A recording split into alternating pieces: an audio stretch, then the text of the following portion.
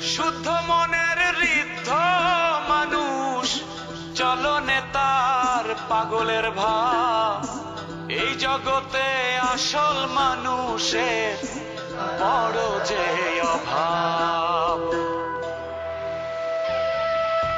না ছুঁয়ে জল, জলের মাঝে করেন বসবাস।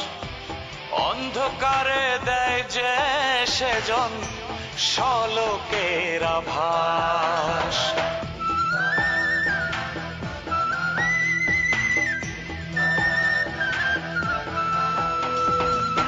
মানুষ ভজেন মানুষ খোঁজেন মানুষের অন্তরে। সাধন ভজন করেন তিনি একলা নিরন্তরে।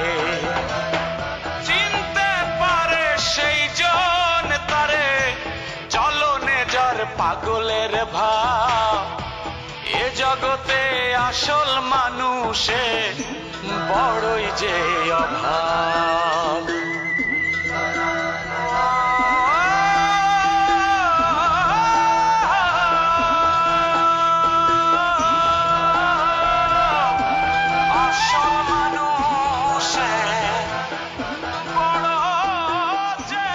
জগতে কতই মানুষ? আসল মানুষ কি আর সবাই? তাদের মাঝেই বসত করেন ম্যাড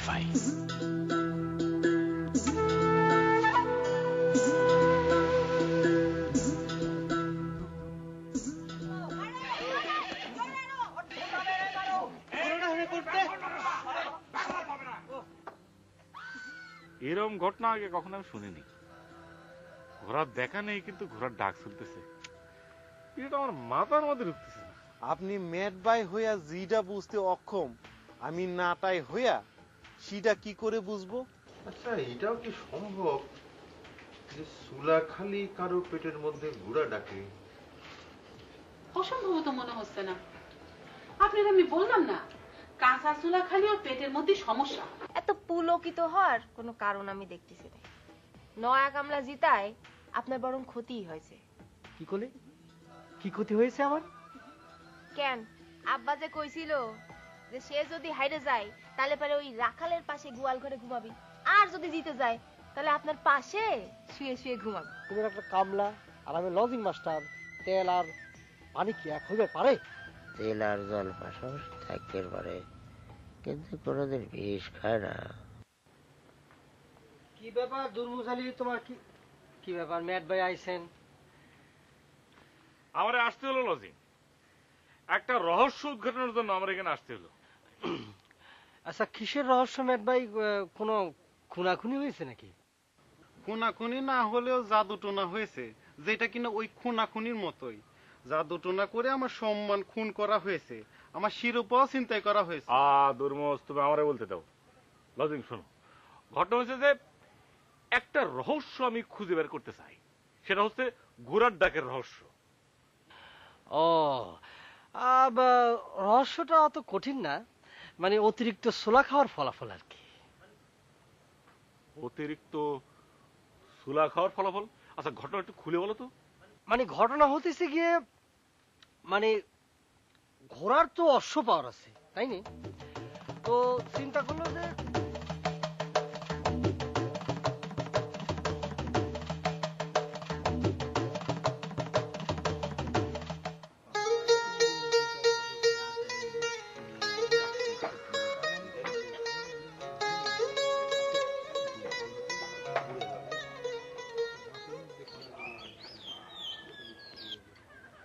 আতা ভাই। আজকে শ্রাদ্ধাম কিন্তু তোমার দিতে হবে হুম তা দেওয়া যাবে তোমরা যাই কর আমার নিশ্চিত অনুমান এটা ম্যাট ভাইয়েরই কাজ। এই ম্যাথ ভাইয়ের কাজ মানে? বুঝায় তোমার না তোমার না এই যে একটু রহস্য করে কথা কওয়ার বদ স্বভাব আছে। শোনো তোফা তোমার কারবারের পাটনা কি বলছে? আমার নাকি বদ স্বভাব আছে। নিজে একজন আকাম করে উস্তাদ বলে দাদা সে ছোটবেলায় নাম রেখে গেছে আকাম। আবার আমারে বলে বদ স্বভাব ওরে বাবা সে তোমারে বদ স্বভাব কইনি সে তোমার সাথে ঠাট্টা তামাশা করে এই বদ স্বভাব কইছে হুম সামান্য ঠাট্টাও যদি না বোঝো তাহলে কালকে আর আড্ডা দিবে আসেন হুম নাকি? কও তুমি এবার কি করছিলে? তাই কও। এই যে ঘোড়ার ডাকটা চার দিকে কোথাও একটা ঘোড়া চিহ্ন নাই অথচ ঘোড়ার ডাক শোনা গেল। তার মানে তুমি কবের যাচ্ছেও ম্যাট ভাই নিজেই ঘোড়ার ডাক ডাকেছে। নিজে না ডাকলেও একটা কিছু করেছে। তা না হলে নয় কামলা মতো উড়া মানার এটা ছেলে দুর্মসে হাতি পারে? এবার আমি বুঝলাম না। আরও ভাঙে কও। তোমাকে বোঝা পাইপটা যে এত সরু ভেঙ্গে বলা ছাড়া কিছু বোঝো না। আরে দুর্মুজ কোরবালিশ পেটে চ্যাম্পিয়ন হিসেবে কিরাম গর্ব করে বেড়াতো দেখোনি? ও পা যেন মাটিতে পড়তো না। ম্যাট ভাই নিশ্চয় ওটা পছন্দ করেনি। তাই ঘোড়ার সাথে কানেকশন করে দুর্মুজের দর্বচূর্ণ করেছে। কথাটার মধ্যে দুর্বলতা আছে তবে পয়েন্টও আছে। হুম দুর্বলতারে কি শুনি? দুর্বলতা হচ্ছে ম্যাট ভাই নিজেই ঘোড়ার ডাকের রহস্য না বুঝতে পারি। দুর্মুষিক সাথে করে পরানামিক সাহেবের বাড়িতে গেছে রহস্য জানতে। তোমাকে মতো নাটাইকের সাথে এই জন্য কথা কইতে হয় না। লেভেলে লেভেলে না হলেই আড্ডা জমে না। এই জন্য আমি আড্ডা আসতে চাই না। এ ফালতু কথা বলে না তো আতা। লেভেলে লেভেলে আবার কি লেভেলে লেভেলে আবার কি? তোমার চাইতে আমার লেভেল কম কি শুনি? হুম লেভেলে লেভেল। আমি নিজের চোখে যেটা দেখলাম সেটাই তো কুলেন ওই তো তোমরা হচ্ছে যা দেখো তাই সত্যি ধরে নাও। ম্যাট ভাইয়ের ব্যাপারে সেটা চলে না। ম্যাট ভাই ঘোড়ার ডাকের রহস্য ঠিকই জানে। কিন্তু দুর্মুজে সেটা বুঝতে না দেওয়ার জন্য তারই সাথে করে পমানের বাড়িতে গিয়েছে।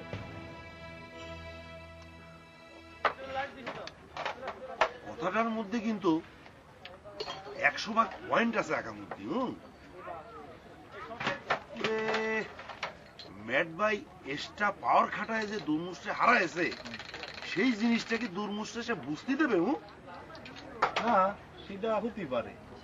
তার মানে খেলায় কিটা জিতবি না জিতবি সবই ম্যাট ভাইয়ের হাতে। হুম আরে তিনার কন্ট্রোলে তো এখন সবকিছু চলতেছে। ওরে তুমি একবার চিন্তা করে দেখো যে পুলিশ ডিপার্টমেন্ট পর্যন্ত ম্যাট ম্যাট কথা মতো চলতেছে ওরে বাপরা কি সর্বনাশী কাম হ্যাঁ? ওরে বাবা রে বাবা। সর্বনাশ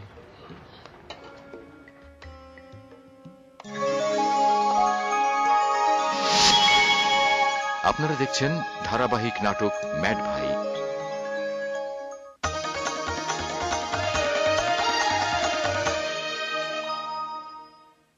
যে পেমেন্টের বিষয়টা যেটা বললে বিষয়টা একটা কনফিউজের মধ্যে আছে। মানে? ধারাবাহিক নাটক? জামাই মেলা। রচনা বৃন্দাবন দাস পরিচালনা আজহারুল আলম বাবু। কথা হলে কি? বললে তো বলবে যে বলছি। এই যে আমার বিয়ের বিষয়টা আছে না সেই বিষয়টা নিয়ে একটু কনফিউজের মধ্যে আছে। এত পিড়ি পিড়ি করো না তো আম্মা। আমি খাব না। খালি পেটে বিষ খালি পরে বিষটা অনেক ভালো কাজ দেয়। বাঁচবার তো কোনো চান্সই থাকে না। না মা না। তখন যদি একটা কেস করে দিতাম তাহলে এই ষড়যন্ত্র একেবারে অঙ্কুরে বিনাশ হয়ে যেত গা। আপনি ধরলেন না। এসব আজগবি কথা তোমারে কে কয়? উনি করে আমার কথা রে? অহন কয়। আপনারা দেখছেন ধারাবাহিক নাটক ম্যাড ভাই। ও এই তাহলে ওর রহস্য? মানে অতিরিক্ত সুলা খাওয়ার পরে আর কি? আহ, দুর্মুস তুমি তো নিজ কানেই রহস্যটা শুনলে।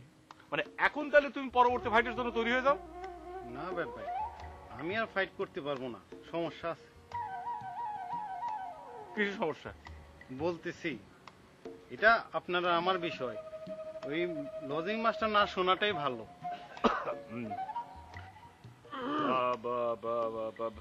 লজিং দুলাল। তাহলে তুমি ঘরের মধ্যে। যাও।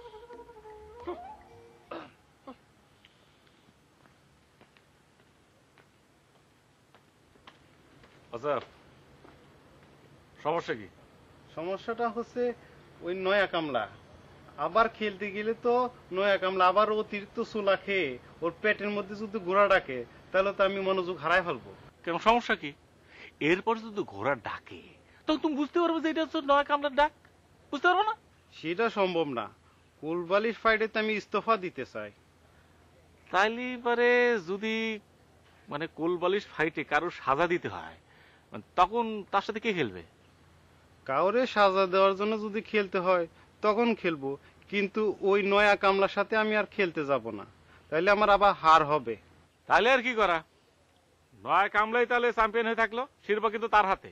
তুমি তাহলে চ্যালেঞ্জ করলে না সে কিন্তু চ্যাম্পিয়ন তুমি শুধু সাজা খাটার জন্য খেলবে এই তো? আচ্ছা ঠিক আছে ঠিক আছে। সালাম আলাইকুম ম্যাট ভাই। ওয়ালাইকুম আসসালাম। এই এই লজিং বলল যে আপনি ঘোড়ার ডাকের রহস্য উদ্ধারের জন্য এসেছেন। না না রহস্য অলরেডি উদ্ঘাটন হয়ে গিয়েছে। ঘটনা হচ্ছে আপনাদের নয়া লজিং সেই কিন্তু এখন থেকে ওই কোলবালিশের একদম চ্যাম্পিয়ন হয়ে থাকল। ও আর খেলবে না ওখান থেকে ও রিটায়ারমেন্টে চলে গেছে। দুর্মুষ। দুর্মুষ রিটায়ার করলি ওরে সাজা দেওয়ার জন্য খেলবি কেটা না না সাজা দেওয়ার জন্য খেলতে সে রাজি হয়েছে। তা যাই হোক আমি তাহলে আসি শিরোমণি সাহেব। ইয়ে ম্যাট ভাই বাড়িতে একটু খাওয়া দাওয়া হচ্ছিল একটু যদি হাতটা ধুয়ে যেতেন। না না শিরুন সাহেব খাওয়া দাওয়ার ব্যাপারে যে আগ্রহ আমার খুবই সামান্য সে তো আপনি জানেন। আচ্ছা তাহলে আপনি কালকে সকালেই তো ঢাকা রওনা দিয়েছেন নাকি? যে শোনেন আপনি হচ্ছে সকাল সকাল রওনা দিয়ে দিন ঠিক আছে? আর ঢাকা থেকে ফিরে আসার পর ইনশাল্লাহ দেখা হয়ে যাবে ঠিক আছে?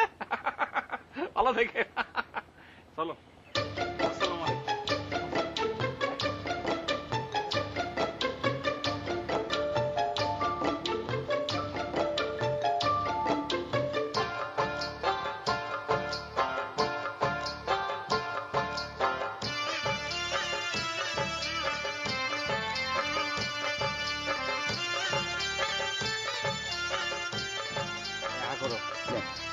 দেন বস।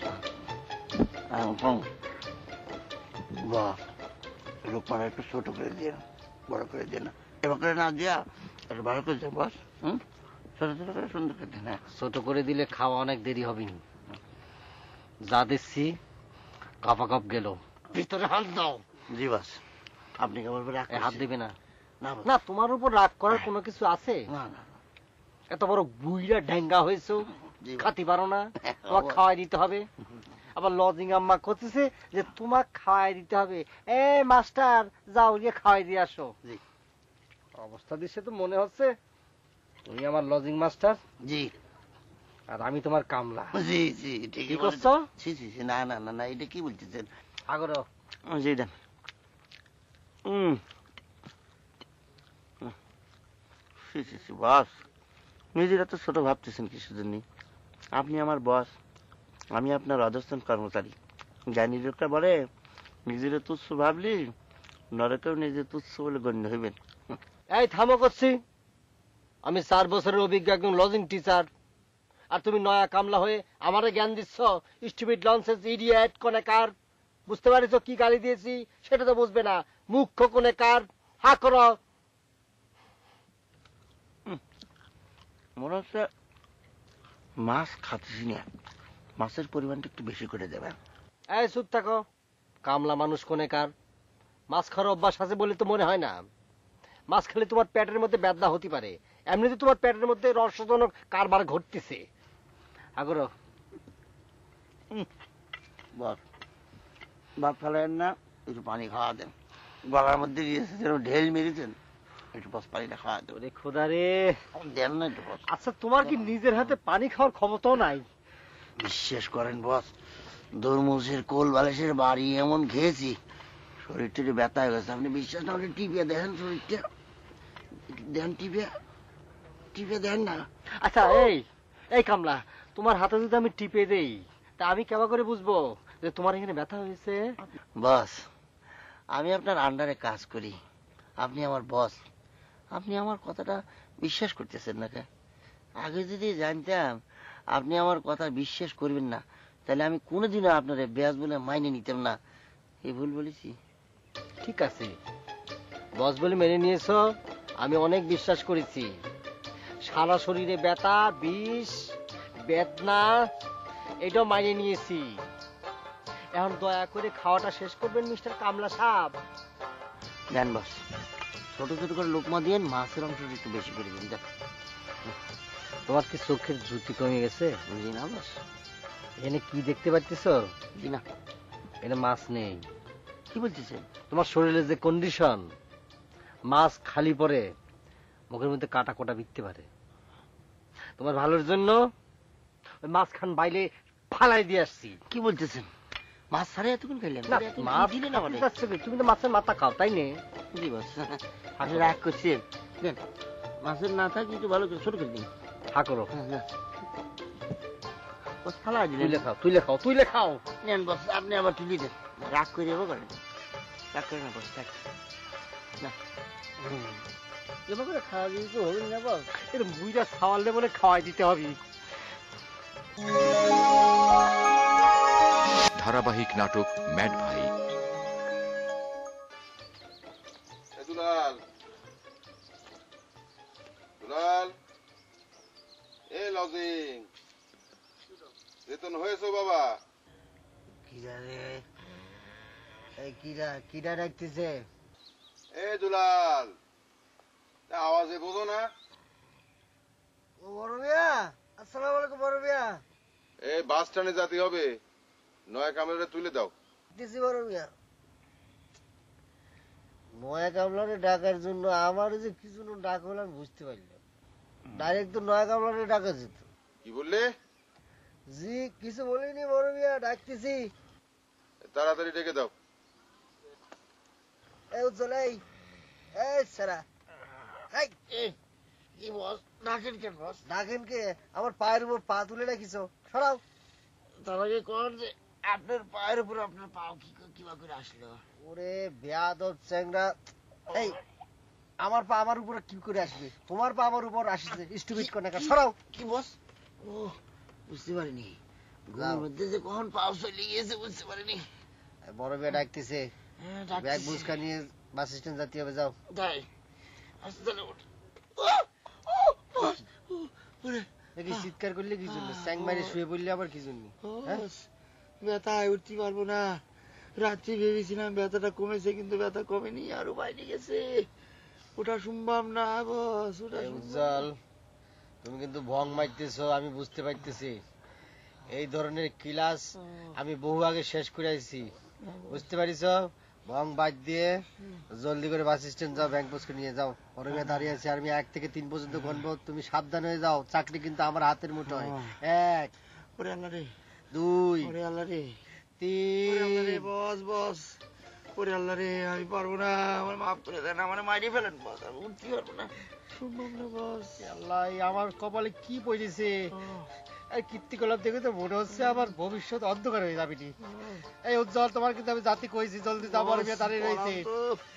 আমার মারিয়ে ফেলেন আমি তো উঠতে পারব না আমার মাফ করেন বাবারে, উরে, কি ব্যথা রে। উরে গিটায় গিটায় ব্যথা রে হাত ছাড়াও করতেছি। আরে কি হলো রে লজিং? এতক্ষণ লাগে কেন? নয়া কামড়ে পাঠাচ্ছ না? পাঠাচ্ছি বড় মিয়া উঠতেছে না তো। হাজিলের এই সর। এটা হাতটা রাখি বস ব্যথা লাগতেছি। ঠিকঠাক মতো নিয়েছে তো আরেকবার একটু ভালো করে চেক করে নিই। কিছু বাদ পড়লে আবার ঢাকা থেকে কেমনে আসব? হ্যাঁ, ঠিকঠাক মতোই নিয়েছে। টনি অটনি ওট ওট বোন ঘুম থেকে ওট আমরা কিন্তু রওনা করতেছি। কোথায় রওনা করতেছো? ও মা কি করছে? কোথায় আবার ঢাকায়? ঢাকায়? কোন কাজে আশ্চর্য কি কথা করছে ওঠ। উঠে চোখে মুখে একটু পানি দিয়ে তাহলেই বুঝতে পারবি কোন কাজে। ওঠ। তুই ঢাকায় যাচ্ছিস জানা। আমার তুলছিস এই কি করছিস তুই ক? তুই আমার একমাত্র আদরের ছোট বোন।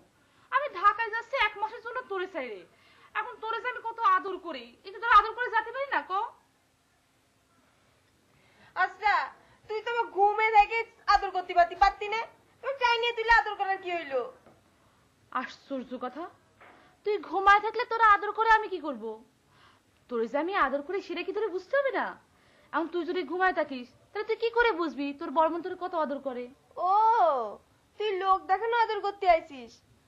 এই জন্য তুই আমার এত সুন্দর ঘুমটা ভাঙিয়ে দিলি। কত সুন্দর খোয়াব দেখতেছিলাম। এই কি খবর দেখতেছিলি? খুয়াব দেখতেছিলাম কি? ওই যে আমাকে লজিং মাস্টার দুলুভাই আছে না?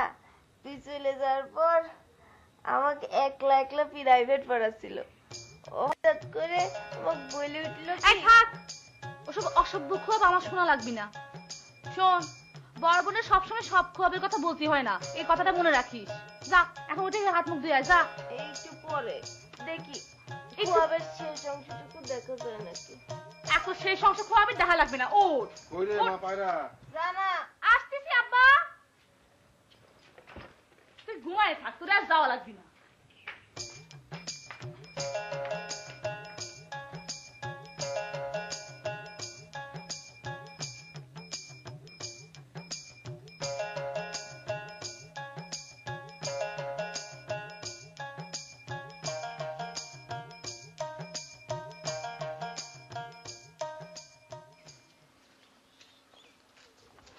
মা পায়রা? জলদি আসো। বাস ছেড়ে যাবে।